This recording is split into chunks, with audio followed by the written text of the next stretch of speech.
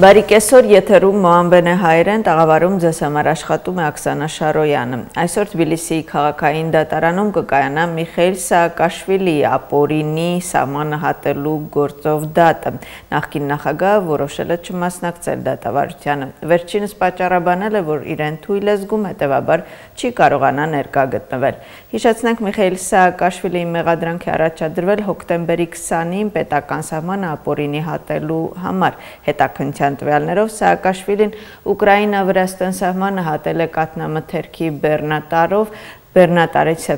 սեփականատերը Էլգուջա Ցոմայա մեղադրվում է ծանր հանցագործությունը կործելու եւ սահմանը ապորինի հատման մեջ աջակցելու մեջ հոկտեմբերի 1-ին Թբիլիսիում ոստիկանությունը Ցոմայայի բնակարանում ձերբակալել է Սաակաշվիլիին։ Նույն գործով կա եւս 3 մեղադրյալ։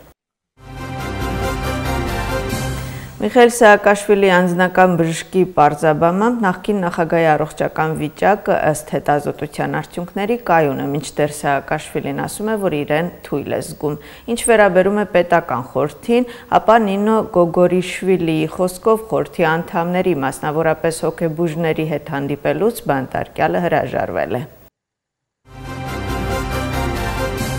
Անդիմության մի մասը կիսում է նախկին նախագահի հաշտեցման եւ համընդհանուր քաղաքական համաներման կոչերը։ Վերջիններից պարզաբանմամբ Սաակաշվիլիի ազատ արձակումը կթեթևացնի քաղաքական ճգնաժամը։ Մինչդեռ ընդդիմադիր որոշ ուժերի կարծիքով ազգային շարժումը առաջնորդվում է միայն նեղ կուսակցական շահերով եւ լուրջ չի վերաբերվում հաշտեցման նախաձեռնությանը։ Ըստ իշխող թիմի քաղաքական համաներմամբ Միխայել Սաակաշվիլիին ազատ արձակելու պահանջը անհիմն է։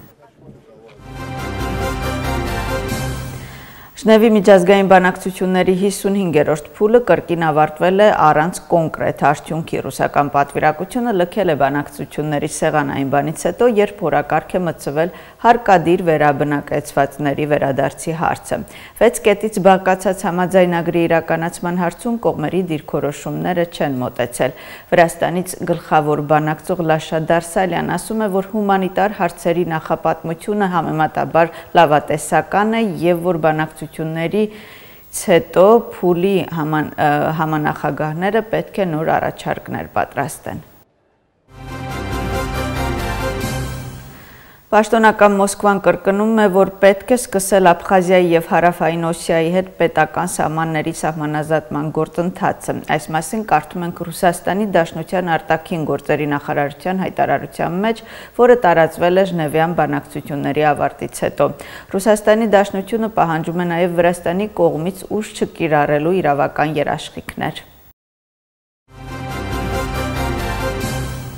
Հայտարարությունը հրապարակում նաև Վրաստանի արտաքին գործերի նախարարությունը վրացական պատվիրակությունը հատուկ ուշադրություն է դարձրել Ռուսաստանի ձեռնարկած քայլերին Աբխազիան Ցխինվալիին փաստացի միացնելու ուղղությամբ։ Այս համատեքստում կտրուկ քննարկվեց օկուպացիոն ռեժիմների հետ վերջերս ձեռք բերված համաձայնագրի ծրագիրը ընդհանուր սոցիալ-տնտեսական տարածքի ստեղծման, այսպես կոչված ծրագրի իրականացման վերաբերյալ։ Վրաստանի օկուպացված տարածքները ռուս ռուսական ռազմական, քաղաքական, տնտեսական եւ սոցիալական համակարգի մեջ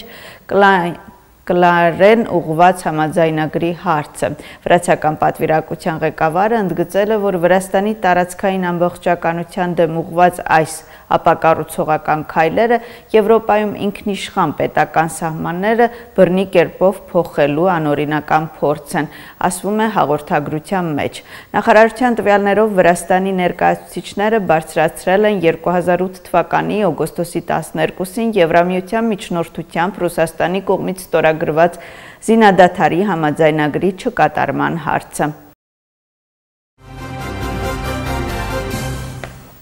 Ժնևի միջազգային բանակցությունների համանախագահները հայտարարություն են տարածել բանակցությունների 55-րդ փուլի վերաբերյալ։ Հայտարարության մեջ ասվում է, որ 2008 թվականի միջազգային բանակցություններում ձեռք բերված 6 կետից բաղկացած համաձայնագիրը մնում է հարթակ հակամարտության մյուս կարևոր հարցերոյ քննարկման համար։ Երկու օր շարունակ մասնակիցները հանդիպել են Ժնևի միջազգային բանակցությունների երկու զուգահեռ աշխատանքային խմբերի հետ, որոնք կենտրոնացել են անվտանգության եւ հումանիտար հարցերի վրա եւ անվտանգության ընդհանուր իրավիճակը տեղում գնահատվել է համեմատաբար կայուն։ Համանախագահները եւս մեկ անգամ կոչ են արել բոլոր մասնակիցներին ակտիվացնել վստահության ամրապնման ուղղված ջանքերը, քննարկել մարդկային անվտանգության բոլոր սպեկտրների համապարփակ սպեկտրները, ներառյալ կառուցողական ներգրավվածությունը, տեխնիկական մակարդակով քննարկումներին, ներառյալ միջազգային մարդասիրական եւ մարդու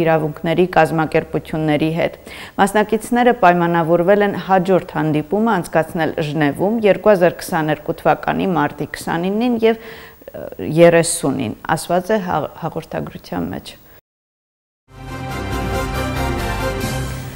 Pfizer-ը եւ BioNTech-ը հայտարարել են, որ լաբորատոր թեստերի նախնական արդյունքների համաձայն իրենց պատվաստանյութի 3 չափաբաժիններով պատվաստվելիս օմիկրոն շտամը ոչնչանում է, այսինքն 3 չափաբաժնի արդյունքում արտադրվող հակամարմինները օմիկրոնի ներթափանցումը օրգանիզմում նվազեցնում է 25 անգամ։ Նրանց պարզաբանմամբ Pfizer-ով եւ BioNTech-ով 3 անգամ ներարկված քաղաքացիները պաշտպանված կլինեն նոր կորոնավիրուսային շտամի բարդություններից։